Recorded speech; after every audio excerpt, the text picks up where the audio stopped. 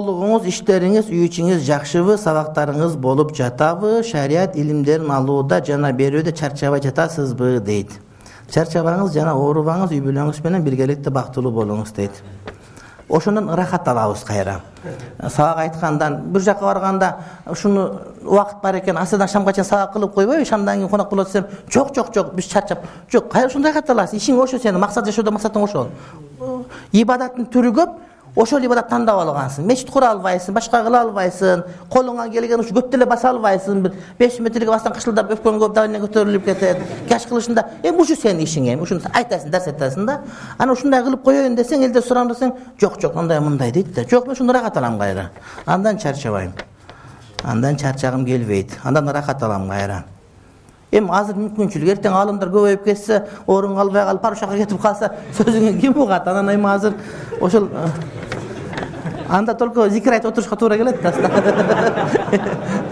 бүт балдар окуп атат чынбы аалым болуп атышат анан ээси келсе бесин бер дейт да бериш керек ошолорго анан кечке эле карап отура беришип эми биз деле аракет кылып окуп атабыз жеткирбейли деп бирок ашып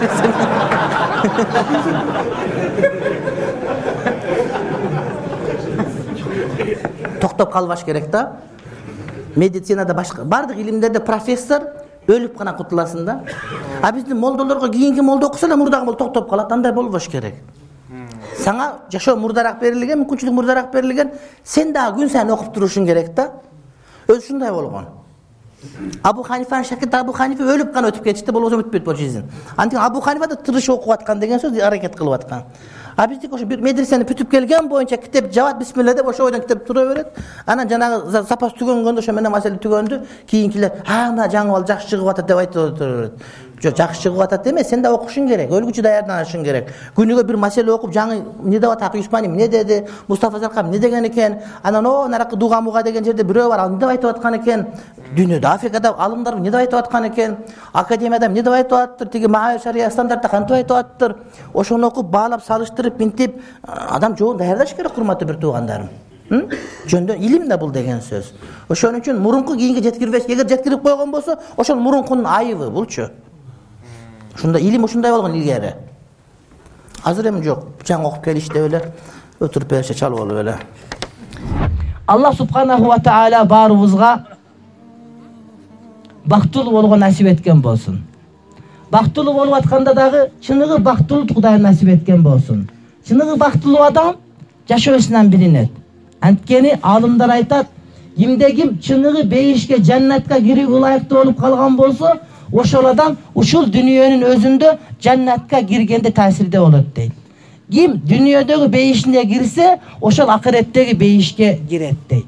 Дүйнөдөгү бейиш кандай бейиш десе ал ошол бейиш ушундай ошол жашаган мусулманчылыгынан өзүнүн мусулман экендигинен исламий жашоосунан ырахат алган адам багымдатка эртең менен көзүңү жыртып туруп барасың ошондон ырахат аласың кийин намаз окуп атасың намаз окуп атканда болкулдап жүрөгүң элжиреп андан бир ырахат аласың башка бирөөгө даават айтып атасың мындан бир ырахат аласың анан соода кылбастан бирөө тыйын ашырып берип койгон экен аркасынан чуркап барып таксырым ачык экен мә деп бересиң мына ушундан ырахат аласың бир мусулман намаз окуп калса көрүп ыраазы болуп эшматтын баласы сенин классташың мушташып кеткенсиң сен сүйгөн кызды алып качып кетип калган жаман көрүп душман болгон бирок баласы мачитке келип калса ошону көрүп мачитке келген үчүн ырахат аласың мына көрдүңбү сен мусулман болуп диндар болуп диниңен ырахат алып атасың сен сүткорлук кылганга мүмкүнчүлүгүң бар эле бирөөнү алдаган мүмкүнчүлүгүң бар эле жок алдаган жоксуң сен алдабагандыгы үчүн ырахат аласың сен адамдардын баардыгы кандай болбосун адам болгон үчүн ал мусулман болгон үчүн ошол адамды жакшы көрүп атасың ошондон ырахат аласың сен демек жаннатыңа кирдиң деген сөз сен мусулман экениңе сакал койгонуңа ырахат алып атсаң сен сакал койгон үчүн бирөө шылдыңдаса ошол шылдыңын көрүп туруп ушу мухаммед пайгамбардын сүннөтүн шылдыңдадык ушул эгерде ушунун кадырын билгенде мени шылдыңдабайт эле деп ошондон ырахат алсаң сен өзүңө мусулманчылыгыңан ырахат алып аткан болосуң сен мечитке барып жардам бердиң мечиттин светин төлөдүң эшигин шыпырып тазалап койдуң килемдерин күйүп койдуң мисалы үчүн тараптанан тазалап койдуң бүткөндөн кийин карап отуруп ырахат алдың демек сен өзүңүн исламың менен ырахат алып атасың. Демек өзүң өзүң сүйүнчү бер сен бейишке иншалла киресиң деген сөз. Адам мусулманчылыкты карманып ошондон ырахат ала турган болсо мусулман жашоосу менен урматтуу бир тууганым мына ошонун өзү сенин бейишиңе барышка өзүңүн сезген күбөлүгүң мына ушунда турат келгиле баардыгыбыз мусулманбыз мусулманбыз деп жүрөбүз. Ырахат алып атабызбы жокпузбу кимибиз барбыз да молдо сүйлөп атканда сынап отургандарыбыз бар эмне деп сүйлөп атат экен деп. Дагы эмне деп билдирип берет аны күтүп отурганы бар. Дагы эмне деп берет дегени бар. А бирок келгилечи өзүбүз ырахат алып атабыз жок биз мусулманбыз альхамдулилля жумага барабыз бүткүч эптеп сүзүп атабызбы же болбосо ырахат алып окуп атабызбы басып кетип атканда паланчага жумага келбейт деп айтат деп барабыз же болбосо кой куданын парз экен деп барабызбы багымдатка ырахат кылып туруп атабыз же кайра чүңкөнүп жатып уктап атабызбы ушулардын баардыгын алып зекет берип атканда зекет берип атабызбы же кантип атабыз аксакалга салам бергенде жаш балдар ызат кылганда улуулар урмат кылганда кандай ырахат алып атабыз ошону карап көрсөк ошондон өзүбүздүн канчалык деңгээлде жаннатка барышыбыз ылайык экенин өзүбүз сезип калабыз адам өзүнө өз сынчы адам өзүнүн жолун билет ошон үчүн урматтуу бир туугандар келгиле өзүбүздү таразага салайлык азирет умар айтат хасибу анфусакум кабла ан тухасабу силерди бирөө эсепке салып таразаңа тарткандан мурда өзүңөр таразага салгыла дейт өзүңөр таразага салгыла мен кандай бейишке ылайык болдумбу жокмунбу деп. Өзүң өзүң билесиң анткени өзүң өзүң алдай албайсың. Мени алдайсың. Мухаммед пайгамбарды алдайсың. Бирок куданы алдай албайсың. Муфтини алдайсың. Бирок өзүң алдай албайсың. Сен билесиң канчалык ыхласың бар сеники ошон үчүн баардыгыбыз ушул мүнөттө ниеттерди жаңыртып чыныгы мусулман болгонго жашоодон ырахат алганга аракет кылышыбыз керек وقال تعالى قل إن صلاتي ونسكي ومحياي ومماتي لله رب العالمين Ан'ам сүрөсүнүн жүз алтымыш экинчи аятында кудай таалам айтат айт эй мухаммад дейт бул деген эй мухаммад үммөтү силердин баарыңар айткыла дейт инна салати намазым дейт Толугу менен. Ва нусуки ибадаттарым нусук өзү негизи ажылыкка арналат бирок жөн айтылынганда баардык ибадаттар өзүнө кантип кете берет. Махяя басып жүргөн тирүүлүгүм мамати бара турган өлүмүм дагы лиллахи роббил аламин бүтүндөй ааламдардын роббусу аллах таала үчүн дейт. Адамдын намазы кудай үчүн окулуш керек рия кошулбаш керек. Адамдын ибадаттарынын баардыгы кудай үчүн болуш керек. Адамдын урматтуу бир туугандарым жашоосу кудай үчүн болуш керек. Ар бир жеп аткан тамагың кийген кийимиң кудайдын ыраазычылыгы болуш керек. Ушуну кийгенден ыраазылык табамбы жокпу ушуну чечкенден ыраазылык табамбы жокпу кийгенге дагы суроо чечкенге дагы суроо ошондой эле өлүмүм дагы эмне үчүн өлүп атасың сен? Эмне үчүн өлүп атасың?